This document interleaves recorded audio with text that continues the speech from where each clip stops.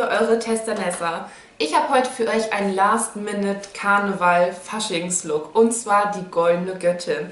Dafür war ich selber auf dem letzten Drücker in der Drogerie und habe mir da zwei, drei Sachen aus der Faschingsabteilung geholt, um den Look zu kreieren. Als allererstes hatte ich mir ein goldenes ähm, Color Spray ähm, geholt für, Haare, für die Haare und das habe ich mir auch so reingesprüht, dass es so ein bisschen Gold wirkt und habe mir die Haare sonst einfach mit so einem ähm, krassen Wachs, was wirklich ja sehr äh, zurückgelt, ähm, die Haare einfach zurückgegelt und hinten in so einen Zopf gemacht. Kann man aber auch offen tragen. Dann habe ich mir einfach ein weißes Shirt herausgesucht und das ebenfalls mit diesem farbigen goldenen Haarspray angesprüht, damit das auch so ein bisschen passend ist zur Göttin. Ansonsten habe ich mir falsche Wimpern aufgeklebt, weil ich das sehr passend finde zu diesem Look. Und ja, den Rest, den seht ihr jetzt im Video. Ich starte mit dem Highlighter von L'Oreal in der Farbe Gold und den trage ich mir einfach großflächig auf mein ganzes Gesicht. Das muss auch gar nicht so ordentlich passieren. Es soll halt lediglich eine schöne Grundlage schaffen für die darauf folgenden Goldtöne. Ich verwende einfach einen ganz normalen Foundation-Pinsel dafür. Man kann auch einen Beauty Blender nehmen oder die Hände, je nachdem, wie man es gerne hat. Nun habe ich so ein Clownweiß und das trage ich mir einfach auf die Stellen in meinem Gesicht auf, wo ich dann gerne mit den Goldtönen arbeiten möchte. Und das mache ich deswegen, damit sich das nochmal so richtig schön von der Hautfarbe abhebt und wirklich richtig schön gold schimmert.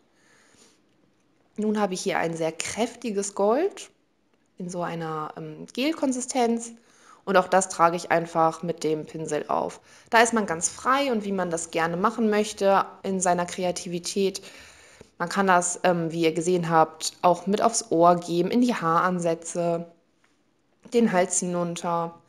Und ja, ich habe mich halt so für ein paar Gesichtspartien entschieden und fand das ganz gut, wenn ich eben nicht das ganze Gesicht in diesem Gold mache. Wenn man das möchte, kann man das aber auch.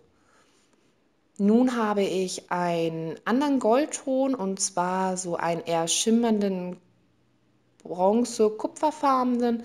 Den gebe ich einfach nochmal über das dunklere Gold, damit das so ein bisschen besser verblendet ist und nicht so ähm, streifig aussieht und eben auch nochmal diesen gewissen Glow verleiht. Wenn ihr ein T-Shirt tragt mit so einem Ausschnitt wie ich, dann achtet auf jeden Fall darauf, dass ihr euch auf jeden Fall auch den Hals mitschminkt.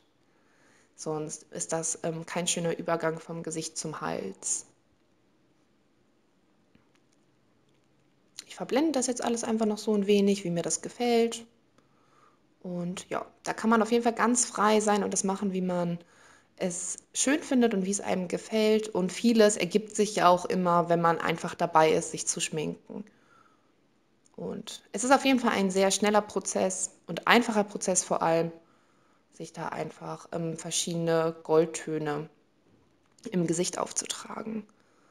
Damit auch meine Augenbrauen ein bisschen gold schimmern, habe ich da einfach einen goldenen Lidschatten und gebe den nochmal in meine Naturhaarfarbe in meinen Augenbrauen.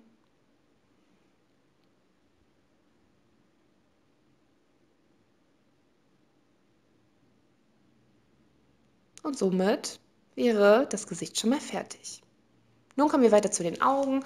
Da habe ich einen braunen Bronze-Kupferton gewählt und darauf folgend ein kräftiges Schwarz. Auch da müsst ihr gar nicht so ordentlich arbeiten. Das darf ruhig so ein bisschen ähm, viel aussehen und die Augen schön umrandet. Es soll auf jeden Fall auffallen und sich auch von dem Gold nochmal abheben. Achtet darauf, dass ihr vielleicht nicht so starke Kanten habt. Ansonsten ist das aber in Ordnung. Und in meinen Innenwinkel gebe ich nochmal ein kräftiges Gold. Das ist das, was ich auch in den Augenbrauen verwendet habe. Und ein Kajal zum Abschluss, damit das Auge nochmal mehr Tiefe hat. Ich hatte ja künstliche Wimpern schon aufgeklebt und die verbinde ich nun mit einer Mascara nochmal mit meinen echten Wimpern.